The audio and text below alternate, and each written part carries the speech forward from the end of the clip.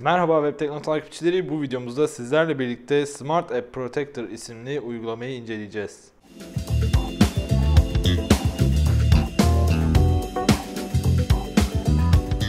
Uygulamayı açar açmaz sizden bir şifre soruyor. Ben bu şifreyi daha sonradan değiştirdim. İlk başta 4 tane 7'nin birleşiminden oluşan bir şifre var. Yani 7 7 7 7 şeklinde bir şifreyle geliyor. Bunu da şurada ipucunda yazmışlar. Ben değiştirdim şifreyi 1 2 3 4 yaptım ve uygulama açılıyor. Yani uygulamayı açarken bir şifre girmeniz lazım. Uygulamanın olayı çok basit aslında. Sizin uygulamalarınızı kilitleyebiliyor ve dilediğiniz uygulamayı kilitliyor. Yani illa telefonda tuş kilidi kullanmak zorunda değilsiniz. Mesela ben WhatsApp'ı kilitlemek istiyorum diyorsanız direkt sadece WhatsApp'ı seçerek ona bir kilit koyabiliyorsunuz. Ayrıca başka güzel yanları da var. Bunlardan da bahsedeceğim ama önce uygulamanın içeriğine bakalım. Uygulamayı açtığımız zaman en soldaki sekmede ayarları görüyoruz. Şifre ve desen ayarları var burada. Girelim. Kilit tipi var.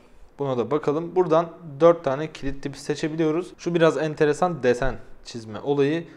Yeni bir desen kaydetmek ister misiniz diyor. Şu bildiğimiz standart 3'e 3 olan desen ancak bu deseni coşturabiliyoruz. Yani şöyle ve şöyle. Umarım görebiliyorsunuzdur ekrandan. Buraya hayvani bir şifre girebilirsiniz arkadaşlar. Şöyle biraz çizeyim bir şeyler. Sonra bir daha aynısını girmek tabii ki de imkansız. Neyse hani buna çok zor şifreler ekleyebilirsiniz isterseniz ki bence bu kadar da paranoyak olmaya gerek yok. Daha böyle kısık hani 4'e 4 falan daha iyi olur ya da 3'e 3 standart alıştığımız şekil. Desen olayı bu şekilde. Bu biraz ilginç olduğu için göstermek istedim. Kilit tipimiz şifre. Şifreyi 1 2 3 4 yapmıştım. Dilersek buradan değiştirebiliyoruz. İpucumuzu değiştirebiliyoruz. QWER yapmışım ben. Bu da kalsın. İşte burada otomatik şifre kontrolü diyor. Bu da şifreyi doğru girdiğiniz zaman zart diye açıyor hani bir onay gerektirmeden. Tuşları rastgele yerleştir. Bu da hani online bankacılık kullanan arkadaşlar bilirler. Hani 1 2 3 4 diye yan yana değil de mesela 1 9 sonra 5 gelir falan filan gibi karışık diziyor tuşları. İşte şifre girerken titreşimli bildirim var. Genel ayarlara bakalım bir de. Genel ayarlarda uygulamayı etkinleştirme var. Bunu aynı zamanda şurada da yapabiliyoruz. Şurada bir tane kırmızı düğme var. Buna bastığımız zaman uygulama zaten etkinleştiriliyor. Genel ayarları geriye dönelim. Uygulamayı etkinleştirdikten sonra burada bildirim çubuğu simgesi. Bildirim çubuğunda uygulamayı görmemizi sağlıyor. Bunu aktif veya deaktif edebiliyoruz. Bu arada uygulama gördüğünüz gibi Türkçe. Bir Türkçe dil desteği de var uygulamanın. Sanıyorum Türkiye'den bir arkadaş bunu hayrına yapmış. Ben öyle anladım. Zaten hani ayarlar kısmı dediğim gibi Türkçe olduğu için herhangi bir anlama zorluğu yaşamazsınız arkadaşlar. Özellikle İngilizce konusunda sıkıntı çekenler için söylüyorum. Ayarlar kısmına çok takılmadan hızlıca geçelim. Kilit ekranı ayarlarına da şöyle bir bakalım. Şu arkadaki her şeyi değiştirebiliyoruz. Tema seçelim. İşte yarı saydam, klasik vesaire gibi temalar koyabiliyoruz. Gördüğünüz gibi tuş dizilimi, daha doğrusu tuşların tipi değişti. Gördüğünüz gibi arka plan geriye geldi. Buradan parlaklığını ayarlayabiliyoruz. Şöyle iyice kısayım iyice opasitesi, opaklığı düşük hale geldi. Geriye gelelim. Kaydetme değişiklikleri. Gözlemci var. Gözlemcinin olayı şu. Birisi sizin şifrelerinizi yanlış girdiği zaman diyelim aldı telefonu kurcalıyor. Bunun loglarını tutuyor. Hatta fotoğrafını da çekiyor ki ben bakın burada yanlış şifreleri girdim. Benim fotoğraflarımı çekmiş. Gözlemcinin de çeşitli ayarları var. Dilerseniz video da kaydediyor. Telefonuma dokunma diye uyarı mesajı da gönderiyor ya da uyarı alarmı veriyor gibi çeşitli uyarılarla telefonu başkası aldığı zaman kimin kurcaladığını siz gerek fotoğraf gerek videoyla anlayabiliyorsunuz. Çoklu şifre seçeneği var. Çoklu şifre de şöyle. Mesela ben şimdi Chrome uygulaması için 1234 şifresine uygun görmüşüm. Gördüğünüz gibi.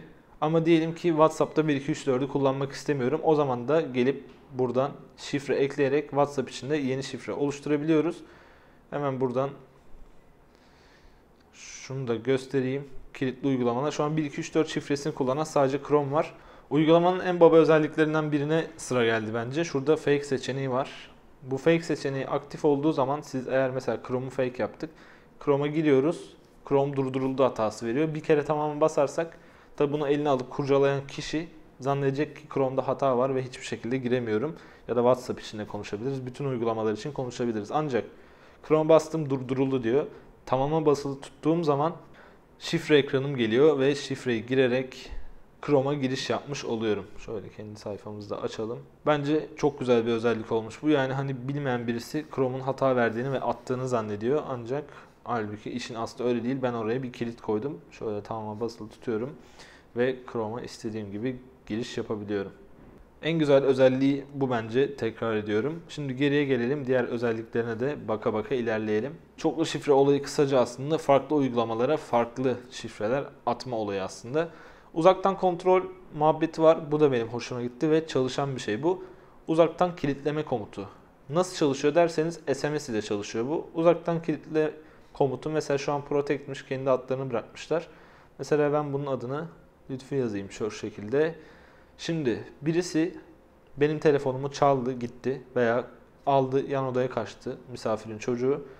Siz başka bir telefondan kendi telefonunuza Lütfi diye mesaj attığınız zaman ya da işte buradaki uzaktan kilitleme komutunu ne koyduysanız o mesaj bu telefona geldiği zaman bu telefon direkt kilitlenmiş oluyor. Sizin belirlediğiniz uygulamaların hiçbirisine giremiyor. Ve şöyle mesela sizin telefonunuz o çocuğun elinden kurtuldu veya hırsızın elinden kurtuldu size geriye geldi diyelim.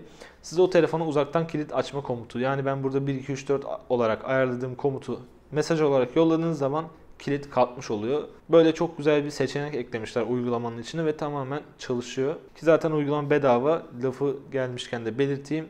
İndirip rahat rahat deneyebilirsiniz. Uzaktan kontrol bu şekilde. Profiller var. Profiller de şu. Şu an bende sadece ana profil var. Diyelim ki eve gittiğiniz zaman işte Facebook, WhatsApp kilitli olsun. İş yerine geldiğim zaman da Chrome'la ne bileyim bir oyun var mesela o kilitli olsun ya da her neyse farklı farklı profiller atayabiliyorsunuz ve buradan profilleri seçtiğiniz zaman kilitler değişmiş oluyor. Böyle bir profil sistemi eklemişler. Ek kilitler var. Ek kilitler de şu işe yarıyor. Mesela Wi-Fi'nin kilidini açabiliyoruz. Sizin dışınızda kimse Wi-Fi'yi aktif edemiyor veya Bluetooth'a ya da gelen aramalara kilit ekleyebiliyorsunuz. Gayet geniş ve güzel olmuş. Komple kilit seçeneği de zaten ana ekran kilit olayı. Dilerseniz buradan, dilerseniz kendi telefonunuzun orijinal kilidini kullanabilirsiniz. Uygulamalara geliyorum. Burada daha önce eklediğim uygulamaları gördüm. Artı düğmesine basarak telefonumdaki uygulamaları kilitlemek üzere buraya ekleyebiliyorum. Onun dışında uygulamanın ufak tefek güzel özellikleri de var. Mesela ekran. Burada artıya bastım yine. Yine buraya uygulama ekliyorum. Bu ekran ne işe yarıyor derseniz de şu işe yarıyor. Hemen anlatayım. Mesela siz bir şey okuyorsunuz. Böyle telefon sabit durması lazım. Siz de böyle okuyacaksınız ama ekran kararmaya başlıyor. Bu ekran kararması sizin işinize yarıyor olabilir ancak o uygulamada kararsın istemiyorsunuz. Burada o uygulamayı seçiyorsunuz ve ekran o uygulamada sadece o uygulamada hiçbir şekilde kararmıyor. Burada da zaten yazmışlar. İnternette gezinirken, e-kitap okurken fayda sağlar. Ekran bu şekilde. Otomatik döndürme de ekrana benzer özellikler taşıyor. Siz dilediğiniz uygulamalarda otomatik döndürmeyi kapatabiliyorsunuz. Yani telefonu tamamen kapatmak yerine sizin seçtiğiniz uygulamalarda otomatik döndürme kapanıyor. Mesela buraya yine Chrome'u atalım. Ekle diyelim. Şimdi Chrome'u açtığım zaman şöyle hemen açayım. Google ana sayfaya gidelim. Telefon şu an dikey konumda. Yan çevirdiğim zaman hiçbir şekilde çalışmıyor. Dikey konumda kalıyor. Otomatik döndürme de şu an sadece Chrome ve kamera uygulamasında ben aktif ettim. İstediğim uygulamada aktif edebiliyorum. Bu da uygulamanın güzel taraflarından birisi. Uygulamayı artık anlattım her şeyle. Anlatmadığım bir yeri kalmadı diye düşünüyorum. Nerede kullanacağınız tamamen sizin hayal gücünüze bağlı. Sevginiz artık WhatsApp'ınızı görmesini istemiyorsanız WhatsApp'a işte kilit koyabilirsiniz ki WhatsApp'ın çalışmadığını düşünür hatta. Ya da ne bileyim Facebook'unuzu kurcalamasın kimse istiyorsanız öyle bir kilit ekranı uygulayabilirsiniz.